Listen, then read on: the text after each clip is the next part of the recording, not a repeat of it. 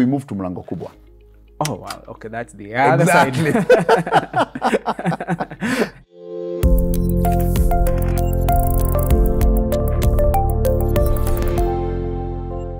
When I was in third year, I got married. Mm -hmm. Okay. A life event. Exactly. A life event. early. very early. Very early. So very early. Um, and uh, I started dating somebody, and then we're like, you know, I, I, I keep referring to my consciousness. Mm. I was like, you know, we're dating. I love you. You know, mm. what next is there? Come, mm. let's let's do this thing. And I got married. Um, and then I was also conscious not to get a child early. So family planning, stayed on. And now when I knew that I was about to finish my medical degree, I like, now I think I can take care of a family. So I got my child when I was in my fifth year. Son, my daughter? firstborn daughter. Mm. Yeah, she's now 25. Wow. Exactly. Mm. She's the one in medical school. Mm. So we got her then. Then I finished medical school. And now I had pressure of family. Are you, are you seeing how am- these things work? I am imagining. Yeah. you- how old are you then? Well, I finished, uh, I was 25. I finished medical school when I was 26, and I did my internship when I was 27. So my daughter was born when I was 26. When you were 26. Yeah. The, the marriage is it is it like a full full on cultural full, like the entire process? Full on cultural. So uh, when I was in uh, my, I think it was now 4th we went to her family. And we did the full thing, Mbuzi, kila kitu. I took my family, but I remember uh, it wasn't easy because um, my family was not at that point didn't think it was the right thing to do. Or your family? Yes. Right. My mother, mm. my father was really kind of a cool guy. You mm. know, you know, he let you do what you wanted to mm. do. You know, uh, you know, may his soul rest in eternal peace. He was kind of a, he, he, I, we, in a way, our family took up his, what did I say, lucky-go-lucky kind of, happy-go-lucky kind of lifestyle. Like he never really stressed about things. He would do things that you are, if it's okay, do it. If you like to do it, do it. So I was in that kind of space. But my mother is the more, uh, what would I say, disciplinarian, forward-thinking kind of person. Like you know, we need to do this and this. That's why we all went to school. Yeah, my father. Who did you take after?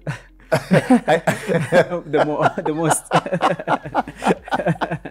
I, I think um, my brother, who is the vice chancellor at the University of Nairobi, Yes. I think he took more from my mother. okay. He's he's a planner. Right. He is very purposeful. Mm. He'll be like, you you know, this is how you do things. If you don't do them this way, mm. then mm. for me, I let things happen, kind of thing. I am so I think I took more from my. Uh, my mother shaped my discipline, Yeah. but my character is more. Don't worry too much. If you can do it, do it. If you can't do it, it's fine. Mm. You know, mm. I don't worry. Mm. I really worry. So, and that is more my father. Yeah. Okay. Okay. Okay. So, um, uh, based on this, I uh, just to uh, you know get back to where we were. So, I mean, third, going to fourth. I have decided I'm going to marry this girl. And my mother sends my brother to me. My mother sends my sister to me. My mother tries to talk to me. And I'm like, no, I've decided this is what I want to do. Hmm. And my sister cried because she thought I'm going to drop out of school. Oh. Obviously. I mean, you're yeah, marrying. What next? yeah. And at that point, mm, we had no, as I said, private students. It hmm. was all regular. So the hmm. government is paying your fees.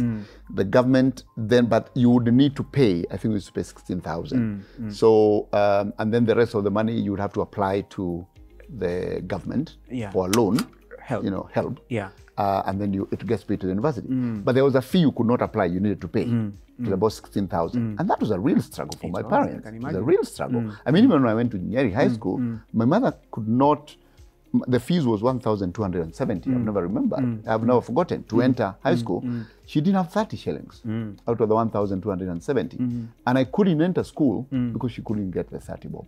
And there are also other siblings, I mean, who who also need to be in school. They're in school. Some Yeah, of them are much yeah. older than me. Yeah. So she got some money, the 30 bob, from one of uh, my cousin's mother. Wow. The, you know the cousin I talked about? Yeah. You know, the world goes like that. The Yeah. same cousin I talked about. Yeah. We were going to Nyeri High School together. Together. The mother had some 30 bob because there are some books Mm. which are not available. And therefore, she, the school said, these are not available, Mm. the atlas and the dictionary. So it's okay, you'll bring them later. So that 30 bob, she gave to my mother Wow. so that I got into Nyeri High. Wow. So basically, um, uh, now the 16,000 in campus is difficult to Mm. pay. And I'm saying I'm going to get married. You know, like what's going on? Yeah. But finally, because again of my consciousness, Mm. I say, no, we have to do this. So, and that's the other thing about my family. Mm. We don't have, you know, we don't force people Mm. to do things they don't want to do. And finally, when you've decided, we are there for you. There's no like, you decided, me, I didn't agree, therefore you're on your own. Right. So my family took me Right. to what we call ruracio, Yeah. to the traditional wedding. Yes. And we did it, and I remember the in-laws wondering, "This is a student. I mean, what's, how are you going to manage this?" Yeah. Say, "No, we'll do it." Yeah. So we did it. Yeah. It is only when I finished campus, Yeah. and now in 1997, when Yeah. I was now finishing my internship, Yeah. that we actually did a church wedding. Okay. But be- before that, I had already done the rites for the marriage. That's that's great. And the baby, the firstborn had your daughter had arrived at the time. Yes, Okay. yes. Uh, how was ra- raising a child when you're still in school So- happening for you? So um, remember now I got married, Mm-hmm. and therefore, and I was living on campus. Yes.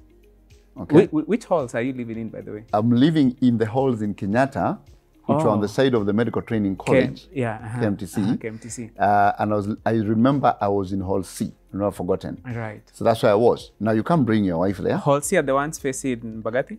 Uh, no, they are like so. The Mbagathi one Yeah. was I think we used to call it Siberia or something because it was too far. That's a funny name. exactly. Yeah. So I was because now I was in third year. That's Yeah. where you lived when you are in when you just got in Okay. third. Yeah. By the time you go to fourth, Yeah. you're promoted to these ones that are closer to the road. Oh, the ones close. the one closer to the road. Okay. And then you have your Oh, own. that's a promotion. that's a promotion, you Yeah. know. But now you can't bring. Yeah. Yeah? Yeah. So- ca- yeah, it's a boys' space. Yes, you're not, and you're not allowed to come and So live there with people. Mm. So I actually went and looked for initially when I when I when I was we were dating. I didn't have a place to live. You know, Yeah. my father is living in his kiosk by the roadside. There's none of my relatives who are living near, you know, campus. So I went and um, got an SQ in Kileleshwa. I was paying two thousand bob, and I was Uptown. Uptown, early enough. Eh? uptown, you know, you know, fake Ah, it till you, from Nyeri. fake it till you make it. So, so I was in this place. Yeah. Uh, but how did I used to pay? You know, I was also doing some things. I remember at some point uh, I was organizing. I was a student leader. Mm. Uh, the Association of Medical Students, University of mm. Nairobi. Mm-hmm. So we'd organize a trip. I remember one time we went to Zambia, oh. and then you get sponsored. So you have some per diems, you have some money. Oh, okay. You pay this and that. Then mm. I was doing some. I don't even know where I used to get money, but then I used to make mandazi. Oh, wow. Yeah. Then I would sell to my father at his kiosk. Then you'd sell to all the mechanics who used to eat at his kiosk in Gara. You know, this is interesting. There's a lot of enter, enter, an enterprise spirit that is, Exactly. is right there. I would make them in my. My brother was a tutorial fellow at Mm-hmm. the University of Nairobi. Mm. Then the same brother now who is a vice chancellor. So I would. He had a one-roomed house, Mm. and I would live with him or sleep on the couch. He had his bed, Mm. and he allowed me to use his electricity and stuff. And I would wake up very early in the morning Mm. at four, make mandazi, pack them, uh, and then I would walk all the way to Parklands Mm-hmm. and deliver them to my father. And then my father would pay me, and he would sell them to all the guys who used to come for mandazi and chai. Oh, wow. So out of that is Mm. how I managed to. When my brother got married, I moved out of his room. Now, now it Mm. Yeah. was too small for us. Yeah. And I got this SQ. SQ in Kileleshwa. Yes, Mm. but now when we started living with my girlfriend, then um, ah, was a bit. I, I think I had overstretched myself. Given the vegetables were more expensive, you know, the eggs were more expensive. You started the highlight. exactly. so I decided this can't work. Yeah. So we moved to Mlango Kubwa. Oh, wow. Okay, that's the other Exactly. side. just next to Mathare North. oh, you yeah. know? Yeah, yeah. Just next there. So you, I remember very well, used to go through a, a pub. You know, there's no entrance to the back. So you go Yeah. through a bar, Yeah. Then you go, and then I remember the block you used to live in was called Jewa Plaza. Hmm. If the other day I actually went there looking for it to see whether I can still recognize it. Yeah. Living on fourth floor, Yeah. shared bathrooms and everything. Yeah. Now I was paying 1,500. Okay. So we lived there Yeah. until my wife got threatened one day. I was still in campus, by the hmm. way. Hmm. So I would, every Friday I would come, take the bus, uh, come, stay. Then Monday, go back to campus. And uh, one time she got threatened mm. by some, you know, there are boys mm. all around saying unaringa. Mm. So I thought this is not a very safe place. So we moved to Umoja 2 near Kayole ah, Okay. that whole field where Mama Lucy is was just a field. So we moved there, and that's where we stayed until I finished medical school. So even when we got our firstborn daughter, we were living there. Uh, and my daughter was born at MP Shah. The lecturer who was teaching me obstetrics and gynecology was very kind. He was called uh, Dr. Machoki. Was very kind to take care of my wife Your wife and child. and child and did not charge me anything Oh. uh, pediatrician Professor Were was then also my lecturer. He took care of my baby, Oh, did not nice. charge me anything. Nice. So the only fee I paid was the anesthetist. And All then right. I got my sister to pay for me. So, uh, so it means that you are open enough also with them to let them know this is. We were, yeah, we were, Yeah. we were good Yeah, friends, yeah. you know. Was the girl also from campus? No. All right, No, she was not. Okay. Uh, she was not from campus. Okay, She all was in the hair and beauty industry. Okay. All right. So we got our firstborn daughter, Mm-hmm. and then now uh, we lived there. Mm. And then when I finished um, medical school, Mm. I became an intern. Mm-hmm. Now I'm giving you this story because you asked whether I specialize. Mm. Yeah, So yeah, this is the exactly. round way. Yeah. Mm. So now I have responsibility. And therefore, I now work with the government Mm. during internship. Mm-hmm. I'm earning 11,000. Where did they put? Where did they I went to? Kenyatta, Kenyatta. because again, mm. I had a family.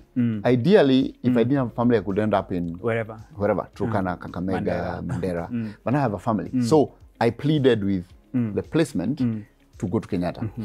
So I stayed in Kenyatta. We moved to an intern's house, -hmm. now with my family, now from Umoja. Now we came to Uptown, near Kenyatta National Hospital. And uh, we stayed there until I finished my internship. How long? Six One months? year. A year. One right. Okay. Now, you realize that now because I have a family, mm. I have to feed them. Yes. So I now started looking for a private job because what the government was paying me, which was 11,000, mm. was not going to be enough. Mm. So if I had wanted to continue to specialize, ideally the government needed you to stay in the public sector. Mm. Then you are posted, mm. and then after two years, you then come back to mm. specialize when you're still being paid your salary, Yeah. but the government is sponsoring you. Yeah. I didn't have that luxury of staying in the public, and therefore I moved to A decision needed to be made. a decision needed to be made. Yeah, So I yeah. looked for a private job.